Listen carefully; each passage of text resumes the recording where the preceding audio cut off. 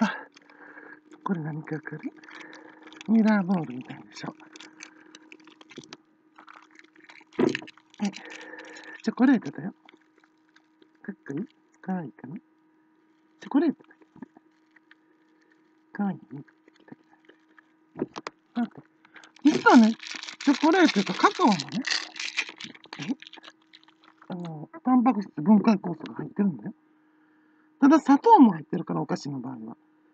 砂糖入ってないカカオは、タンパク質分解酵素が、ね、入ってる。じゃあ、砂糖が入ってるタイプにも、タンパク質分解酵素が入ってる。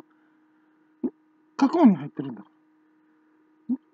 ら。だから、チョコレートも有利やけど、太りすぎるよねって言うのと、もう一個ね、その、その、砂糖の入ってないカカオだけのチョコレートを、そんなに食べ過ぎても大丈夫だろうか、日本人は。その不安はあるわな。実はね。でも、背に腹は変えられん人はね、砂糖入ってないカカオで、ね、コロナ？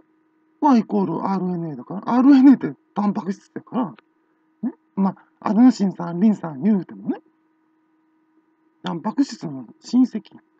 ね、何を分解するかっていうときに、タンパク質です。その名札がついてないと分解しませんっていうわけじゃないからね。